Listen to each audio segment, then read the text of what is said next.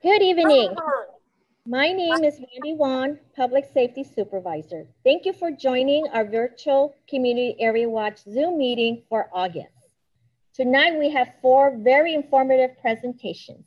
They are Virtual Beautification Award presented by Vanessa Oseguera, Code Enforcement on Bulky Items and Shopping Cart Resources presented by Wayne Coe, Public Safety Supervisor, Crime Update presented by Deputy Douglas um, from the Los Angeles County Sheriff Department Real Estate Special Assignment Team. And I will wrap up with a COVID update. If you'd like to ask questions to our presenter during the presentation, feel free to type in the chat box and we'll have our presenter address it as soon as possible. Um, if you have missed our July 16 virtual community area watch meeting and would like to see the meeting, you can find the link on our city website, www.cityofrosemead.org under Public Safety and Community Area Watch Meeting tab.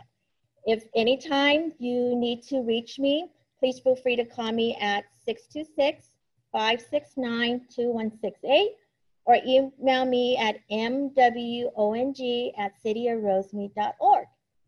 Before we start with the presentations, I'd like to uh, our chief of police would like to say a few words.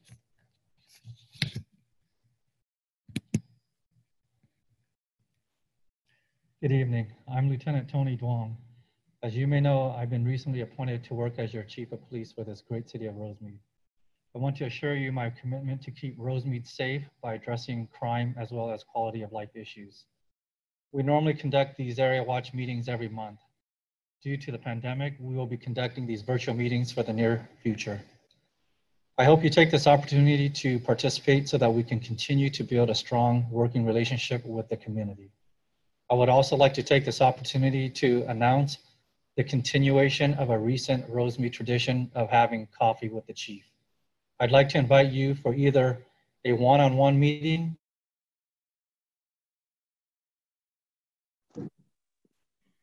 Again, I solely apologize for this five minutes um, that we had to stop. We had we were having technically difficulties, but we're back on now. This is the 21st century. So now I'm going to send this back over to our beautification commissioner chair, Vanessa Oseguera. Vanessa, you're on. Hi, Rosemead. My name is Vanessa Oseguera, and I'm the chair of the Beautification Commission here in Rosemead. And I'm really excited today because I'm going to talk about the seventh annual Beautification awards. Now, this, this is to recognize and honor the um, properties and businesses in Rosemead that have improved or um, beautified their, their property in some way.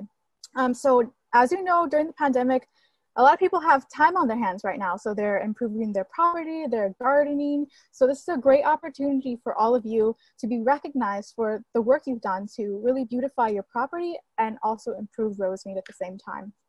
So you look on the slide, um, there's these are the previous winners, last year's winners, and there are four categories that you can enter. You can nominate yourself, your own property, or a neighbor's pro property, or a business. Um, and the first one is enchanted entryway. So any property that has warm, inviting entryway that says, welcome to Rosemead, that's the one you can nominate. The second is best curb appeal. So this is a property that has um, their landscape catches your eye, your attention when you're passing by, walking in the car. I know I take walks every night during the COVID situation, and I just see so many beautiful houses that I want to nominate, and I, am going to too. So, the third is the Rose Award. Uh, this is a property that delights us with roses of any shape, color, size, quantity, really that speaks and says, this is Rosemead. and the last is Beautifying Rosemead Award. And this is the grand prize for the best in show property. So um, because of the situation, to con continue safe practices and social distancing, we'll conduct virtual beautification awards. Um, and the nominations can be submitted by sending an email to beautifying Rosemead at cityofrosemead.org. Um, and you just type in your name, address, phone number, and please send no more than two photos of the property. Clear images are good and good angles are important and the Beautification Commission will judge these properties And then um, the deadline to apply is Thursday, August 27th, a week from today by 10, I'm sorry, by 5 p.m. And again, submit your applications to beautifying Rosemead at cityofrosemead.org. And the winners will be announced at a future city council meeting. And the recipients will be given a really cool beautification award uh, lawn sign to display on their property, which is, is great. And you also earn points with your neighbors, right? A little competitive streak there. Um, so if you have any questions, again, please email beautifyingrosemead at cityofrosemead.org. I really look forward, we all, the whole commission looks forward to seeing your properties and see what you've done. Um, thank you for your time. And I wanna pass it on to Wayne Coe, the Public Safety Supervisor for the next presentation. Thank you.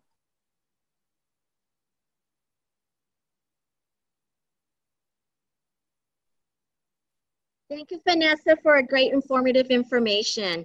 Um, right now, uh, we're going to move on to our third presentation with Deputy Douglas from the LASD Rosemead Special Assignment Team. Wayne Coe is a little bit tied up at the moment, but hopefully he'll be able to join us in a little bit. So turning this over to Deputy Douglas.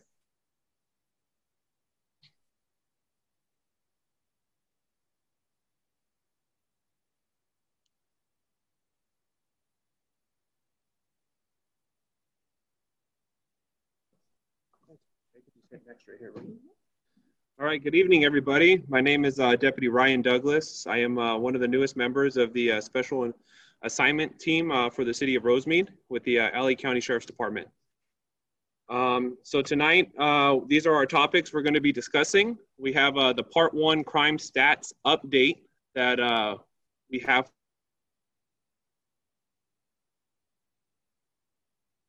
for the month of July, as well as our two um, highest crimes that are being uh, committed right now in the city. They're going to be property related crimes with commercial burglary and grand theft auto. So from uh, January 1st, 2020 to July 31st, 2020, we have the 2019 stats where they were during that time on the left column and our current 2020 stats for that same time period. Uh, when you look at it, you can see uh, we have an overall decrease of uh, 4% down on the bottom um, for property crimes and uh, almost 2% decrease for overall part one crimes. So as I said last month, uh, Deputy Farley did cover what part one crime stats are. And just to uh, recap that, they are a collection of the most serious crimes that occur with regularity across the country. And then each department or police department, sheriff's department, they'll compile these statistics and then they report them to the Department of Justice and uh, the Federal Bureau of Investigation, so DOJ and FBI. So like I said, most of our crime stats have had no change uh, with a 0% if you compare it to where we were in 2019, or they have a negative change, which means we have less crime that had occurred for those different uh, topics. Um, there was a big spike in aggravated assaults, um, but let's go over some of the uh, associated factors with that. Uh, right now, there is a huge economic stress uh, that is occurring due to uh, coronavirus and people having to stay at home. We are seeing a rise in temperature. I think uh, this week we, we've been uh, at triple digit, digits every day this week. And then uh, people are having to stay at home due to stay at home measures put in place by coronavirus. Um, the majority of our assaults um, that we've had in the July of 2020 were domestic in nature, meaning like domestic violence, family related um, assaults. And um, suspects were arrested as a result of those occurrences. So we are seeing that spike, but like I said, it's people are being at home they're stuck at home with each other. It's getting hot. Um, tensions rising. And when we do respond, it's uh, ending with someone going to jail behind it. It's not just, uh, you know, the suspect getting away or anything like that. Um, even though we have seen this 4% decrease in overall property crime, uh, it is still the largest issue for the city of Rosemead. Um, most of the larcenies, which includes uh, petty theft and grand theft and shoplifting, um, was a result of someone leaving their uh, or house or business. Uh, maybe they left their windows unlocked or they left the, the doors unlocked to their vehicle. So a lot of these crimes could be prevented, these, you know, uh, larceny related thefts uh, if we were locking our doors and locking our windows as a uh, preventative measure. So this is a map of the city of Rosemead. Everywhere you see in this uh, bright purple color is uh, our city and our boundaries. Um, and they're broken down into nine areas. So when I when I'm going to be talking about commercial burglary and grand theft auto today, I'm going to be covering the north end for areas three and four, which is going to be Valley Boulevard and to the 10 freeway. And then for the south end of our city, I'm going to be covering area watch five and seven, which is going to be pretty much San Gabriel Boulevard to New Avenue off of Garvey Avenue.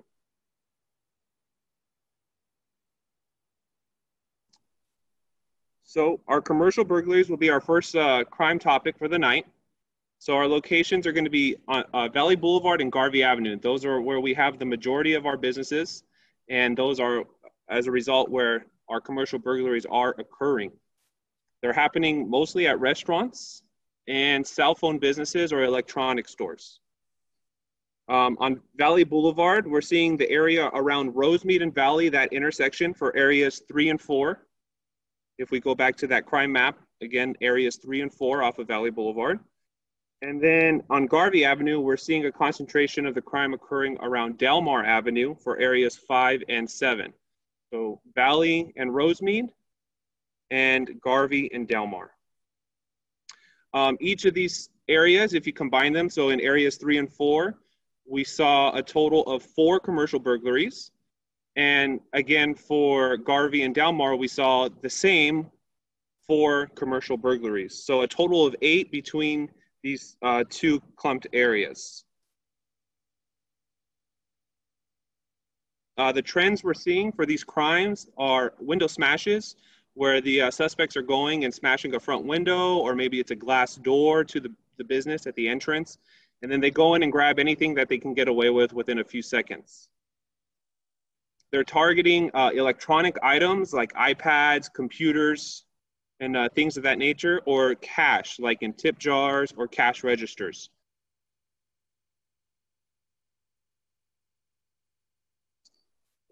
We'll go back to uh, this slide. Um, the types of restaurants, uh, when I was reviewing the uh, statistics for this, they're targeting Asian food restaurants. Um, and then businesses for electronics or cell phone stores such as Metro PCS or Sprint. And then we'll move on to prevention and what to uh, think of before calling the police for commercial burglaries.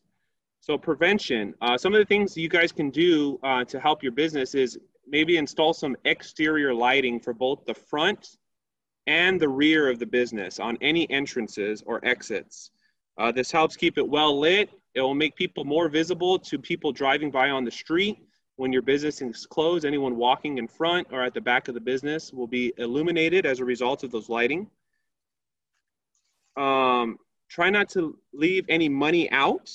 So no loose money if you have like a tip jar at your business or maybe a cash register, uh, take it into a back office and lock the door. Or if you have a safe, you can lock it in a safe um, to secure it.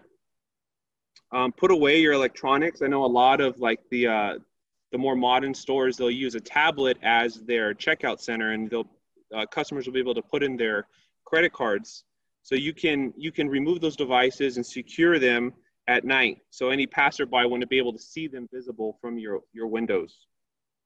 And then uh, another preventative measure is security gates or doors. Um, one of the common ones is the sliders that go across the entire front of the business.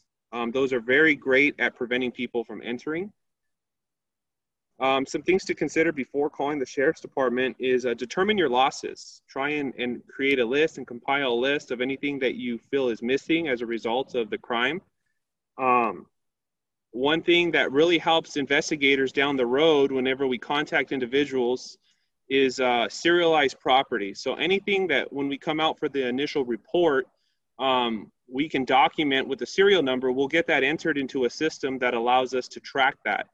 And if we stop somebody in the future that has a property, we can run the serial number they're in possession of and see if it's stole, if it was reported stolen. Um, a great thing you can do is anytime you purchase a piece of equipment, like a DVR or an iPad, tablet, cell phone for your business that's going to be there um, overnight, um, compile a list either on your phone or on a piece of paper you keep at home of the, the you know the make, the model, and the serial number for those devices. That way, in the event a crime occurs where they're taken, you'll have that information available for um, the deputies when they respond to your business. Uh, lastly, is uh, if you don't have surveillance cameras installed, I would highly recommend getting them installed. They're a great resource for us um, to not only track, you know, crimes that are occurring to you, but any other crime that might be passing by your business uh, any time of the day. And they're great to have both on the inside and outside of your business. Um, if you do have cameras, uh, before you call, if you have the uh, resources, download the footage of the incident and uh, put them on a CD or a flash drive. So when the deputy comes to take the report, you can say, hey, I, here's the footage. I, I've already prepared it for you. And they can take that and put that into evidence for the detectives. Um, or have the computer already logged on and to the point where the crime is occurring. And then the deputy can use their digital camera to record, record that footage and then uh, in the future we can come and pull it off of your uh, your security camera. But at least we'll be able to record it with our digital cameras and book that so the detectives have something to work off of. And that's going to be all I have for commercial burglaries.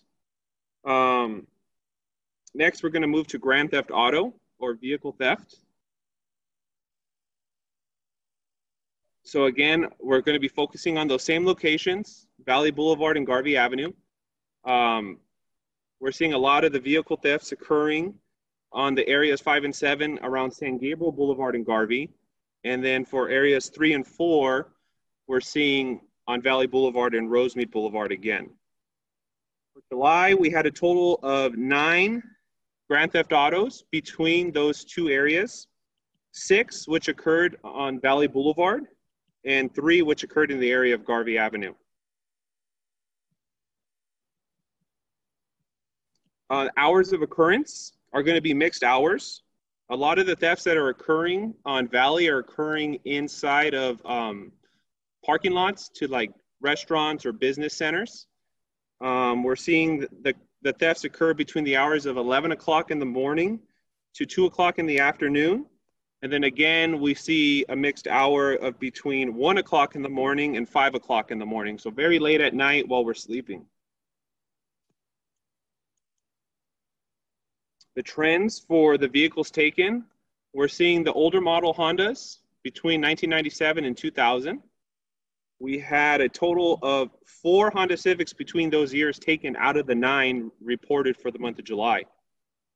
We also had Toyota Camrys year 2004 out of the nine reported two. So these two vehicle makes and models and years uh, accounted for six out of the nine thefts. We also had uh, four where people left their cars unlocked with keys inside, and that was the result of um, the theft. Was it was a theft of opportunity? Going back to what I originally spoke on with our larceny crimes is it's a crime of opportunity. So people, if they are checking your door and it's unlocked, they're going to take that unlocked opportunity to, you know, deprive you of your property, whether that be a purse or a bag left inside the car or the car itself. Some prevention we can talk about for vehicle theft is uh, maybe invest in a steering wheel lock. They're very, very uh, good tools. It makes it very difficult to uh, steer or maneuver your car. Um, another one is what we call an ignition anti-theft device or a switch. It's also referred to as a kill switch. Um, it's a, a device you're able to install and before you start your car, you turn the switch into the on position, which allows your ignition to be started. So once that switch is on, you can turn your key and it will start the vehicle. If that switch is not engaged, unfortunately, no one will be able to take the car. And if you put it in a, in a spot that only, that only you know about, you'll be successful in uh, having, in preventing your vehicle from being taken. Other simple ones we can do that don't cost any money is just park your car in a garage or behind a gate. And if you can lock the gate and secure it, that's better. Um, lastly, is just double check that your vehicle is locked. like I said, the majority of our crimes were unlocked vehicles, doors, windows. So just double check that.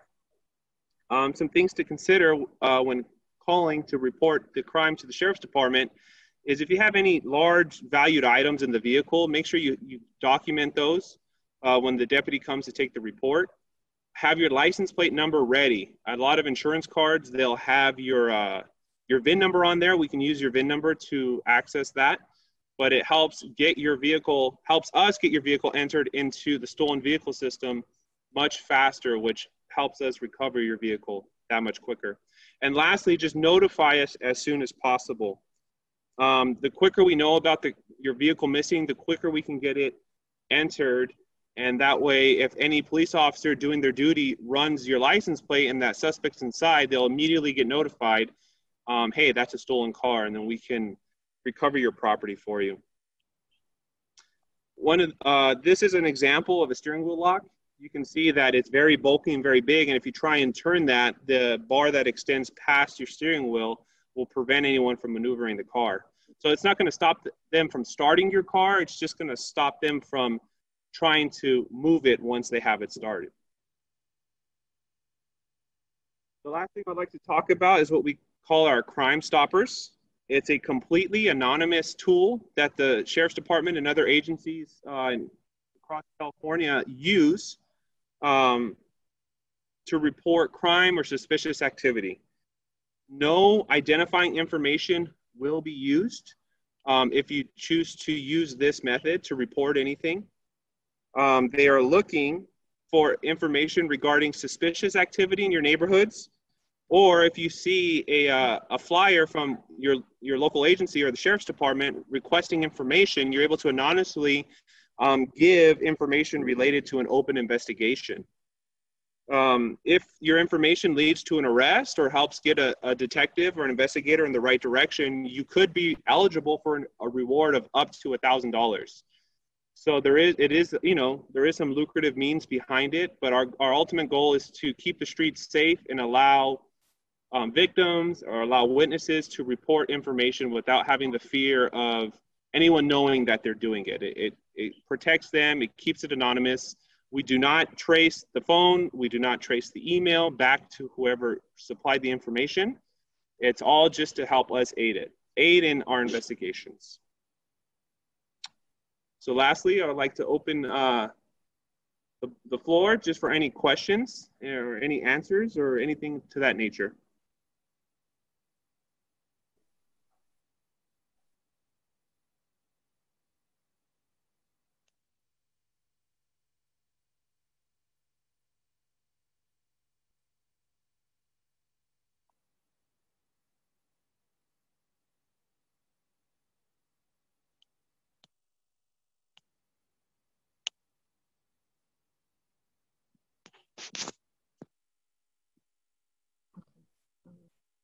All righty. Well, we are going to be moving on with the presentation. We're going to take it to the fabulous Mr. Wayne Coe from Public Safety. He is our supervisor for Public Safety. Wayne, the floor is all yours.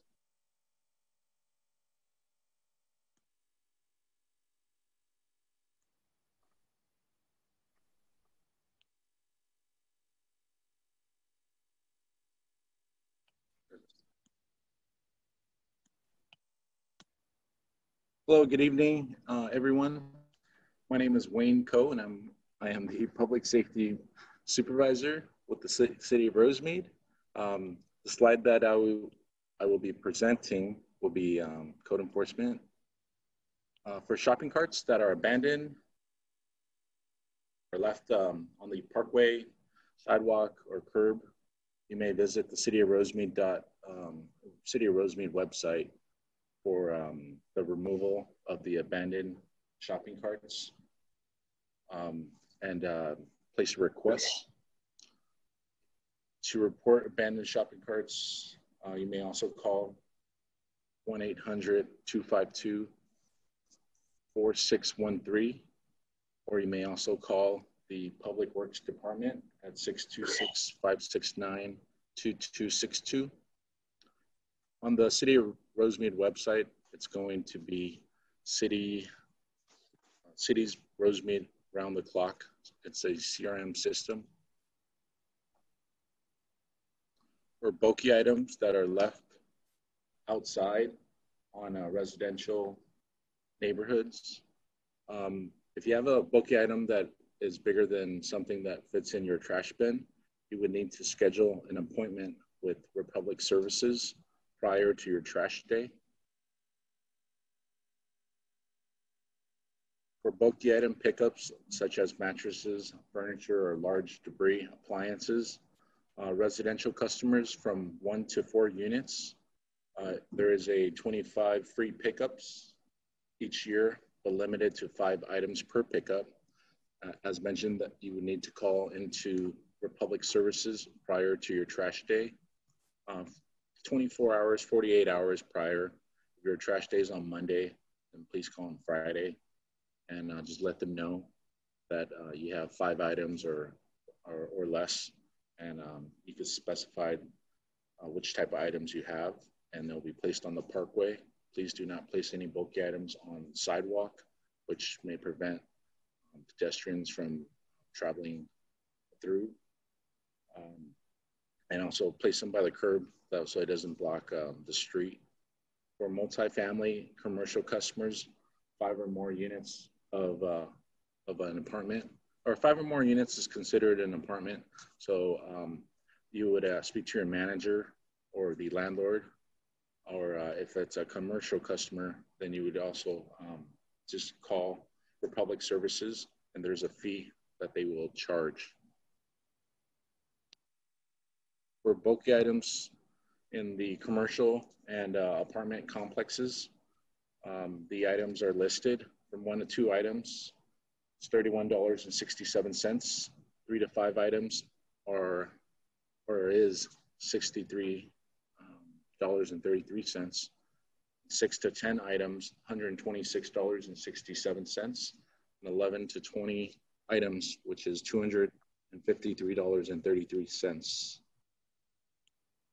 you have any questions, feel free to contact the Rosemead Public Safety Department uh, over here on Garvey, or you may call us at 626-569-2292, or you may also leave a voicemail. You may leave a voicemail on 24-7, and uh, someone will um, respond back to your voicemail regarding your, your nature of your, your request at 626-569-2129. And um, the next uh, presentation will be from Mandy Wong, our Public Safety Coordinator Supervisor, or Public Safety Supervisor. Thank you.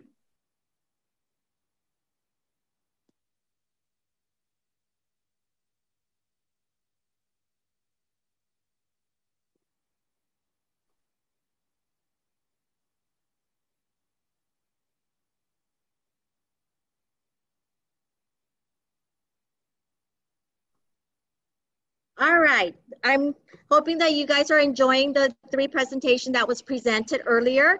As if you have any question at any time, always feel free to reach out to us. Um, our public safety department here is 626-569-2292, and we'll be happy to forward your message to any of the presenter, or if you have any, any question at any time, feel free to call that number as well.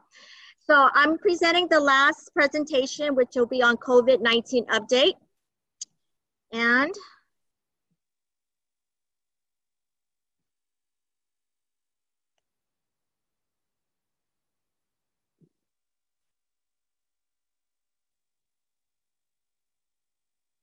All right. So um, today's um, presentation on COVID-19, I'm going to be covering a few, um, few things. I'm going to talk about some of the confirmed cases and deaths in Rosemead, symptoms to watch, um, the latest health officer order updates, um, school resources, senior resources, and COVID-19 resources. So the confirmed cases in the city of Rosemead as of um, August 19th is 709. And then for the Los Angeles County, there were 225,827.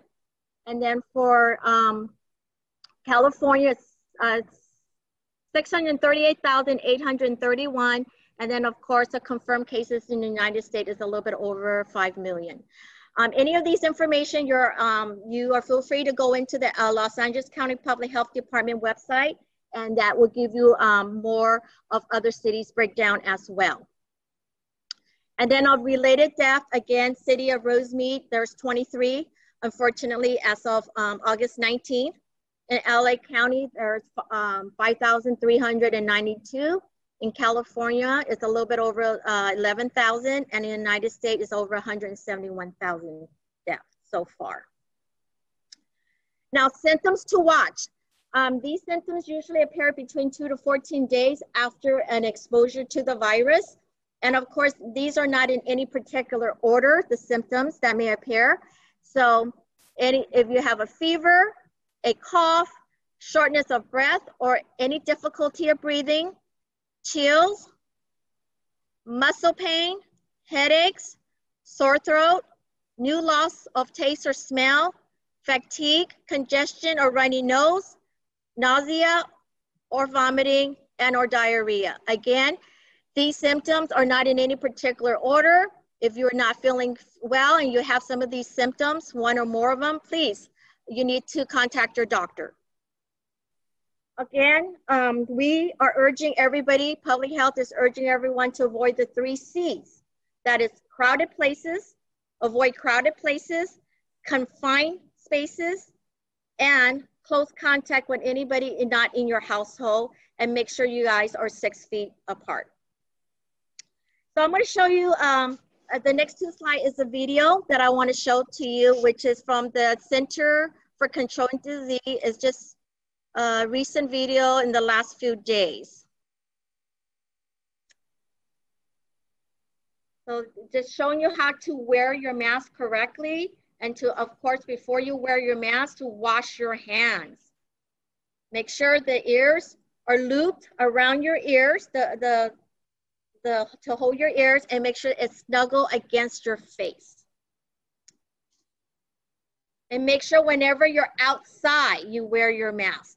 It's a must now. Everybody must do their part in order to slow and to lower the spread of COVID-19.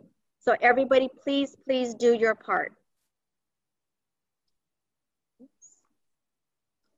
Here's another short video.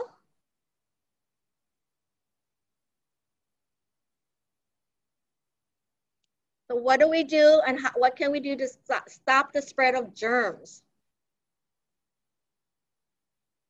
Make sure we wash our hands with soap and water for at least 20 seconds.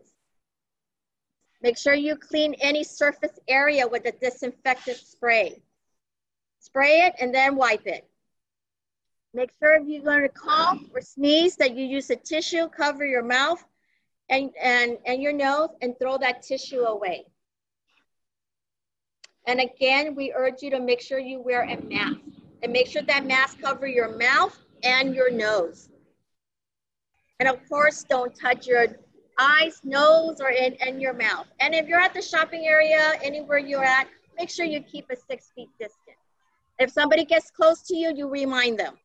And of course, if you're sick, please stay home and then call your doctor and then, and then your doctor will give you more guidance. Um, any of these videos or anything that you also want to share with your, um, your, with your children, you can always go to the website www.cdc.gov coronavirus. Okay, so here are some recent health orders from the Los Angeles County Department of Public Health. Okay, so what can be open in terms of recreation, entertainment, travel, and learning? So I compile a list, and of course you can also get the same list at the LA County Public Health um, beaches can be open. So all the stuff that are listed here can be open. Campgrounds, community garden, day camps, drive-in movies, theater, golf course, um, horse riding, hotels, libraries only curbside only, and then model airplane area, music, film, and production. And then uh, as we continue on, on on what can be open in terms of recreation, entertainment, travel, and learning is also parks. Now, playgrounds are closed at the parks. Um, tennis courts can be opened. Now, if you live in an apartment or condo that has a public pool, that also can be open. If you're out on public trails, either you're walking or hiking, please, um, that can be open, but please wear a mask. And then of course, any vehicle-based parade can uh, is also can be open. All right, we continue to move on. Now these um, recreation, entertainment, travel, and learning can only be outdoor service only.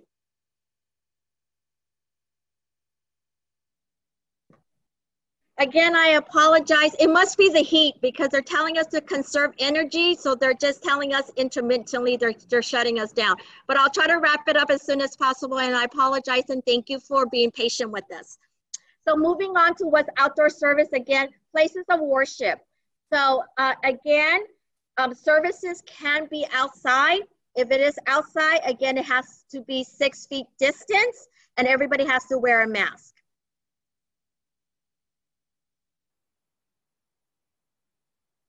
Okay, what is considered closed for now? Under recreation, entertainment, travel, and learning. So all the stuff that you see on there is uh, on the uh, on your screen is considered closed, which would be arcades, bowling alleys, and movie theaters, bars, brewery, um, pubs, wineries, tasting rooms, family entertainment centers, basketball and volleyball courts, card rooms, and anything with festival and theme amusement parks. All those are still closed for now.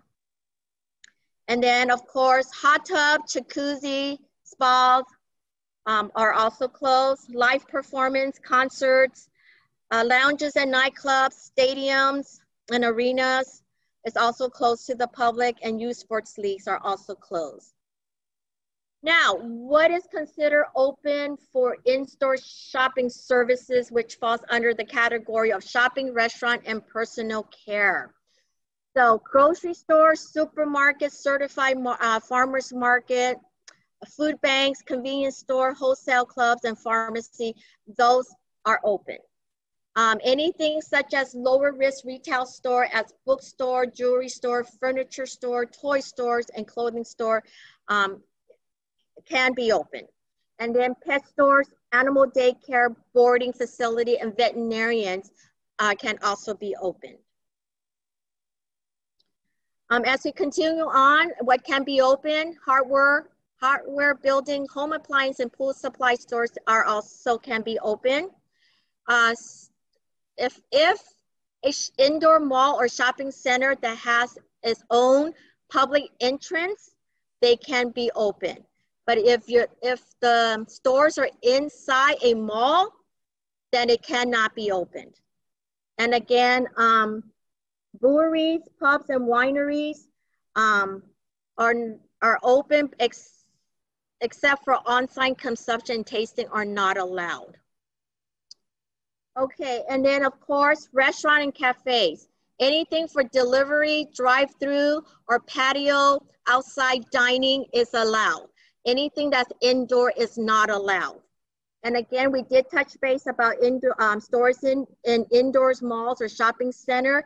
If they don't have their own entrance to get into that particular store, then it will not be able to open up at this time.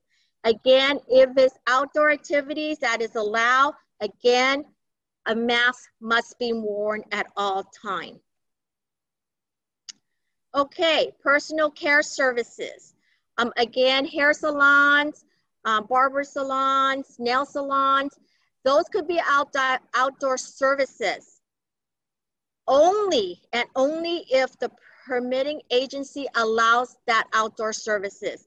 Again, with those, you have to ensure that we are following um, the, the LA County Public Health um, guideline as well because of health and safety issues. Okay, again, what is closed? I know I talked about this because I love going to the shopping malls and right now um, they are not open again because they don't have their own personal uh, entrance to the malls. Because the malls are, indoor malls are usually one big door going into all the different um, boutique stores. So those are closed for right now. Okay, for healthcare services, what can be open would be the uh, would be clinics, hospital, dental clinics, physical therapy, chiropractic offices, optometrists, mental or behavioral health providers, and other health settings. And what is closed? This is a recent um, health order that uh, was established um, the 12th of August. It's for um, schools K-12 and um, all public and private school K-12 um, are closed within the County of Los Angeles. They are to remain closed. So how are the kids are getting their education? They are getting through distant learning. And then Institute for Higher Education is also closed right now. So colleges and university in the Los Angeles County will not be able to resume in person uh, for instruction as well. Again, their instruction will be via distant learning. Okay, for school resources in the city of Rosemead, if your ch uh, child children goes to Garvey School District, I have listed some um, their their district office and their phone number and their website if you need to get a hold of them for any information. Their first day of school is August 24th. Of course, it is distant learning for them as well. If your children or child goes to Rosemead School District, their address is listed there and their phone number as well as their website. Um, they have started school already. They started August 19 and again it's distant learning. And then if your uh, child or children go to Rosemead High School, um, the numbers listed there, Rosemead High School is actually part of um, El Monte Union High School School District. So their website is listed there. And their first day of school uh, was August 18 and they're also distant learning. Okay, for City of Rosemead Senior Resources, um, we have a fabulous senior lunch program. Um, that program is at the Garvey Community Center. The address is 9108 Garvey Avenue. Uh, currently, due to the pandemic, um, their senior lunch program is to to-go service. Um, their lunches are picked up and then taken home to eat. Lunches are distributed on a first come, first serve basis. And the way how they distribute the food works like this. Um, it starts at 10.30 a.m. on Monday. When you go through the drive-through, you will get food for Monday and Tuesday. Then on Wednesday at 10.30 it starts. You get food for Wednesday, Thursday, and Friday. Okay, um, it's a first come, first serve. So they start at 10.30 until all the food is exhausted. Another senior resource is Crafts to Go. We want to keep our mind going and um, you can do fun projects from your home. So each week, a park and rec staff will guide you into some creative activity.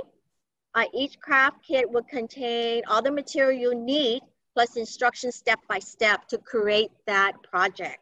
Um, there will also be an instructional videos posted uh, weekly um, per that um, project.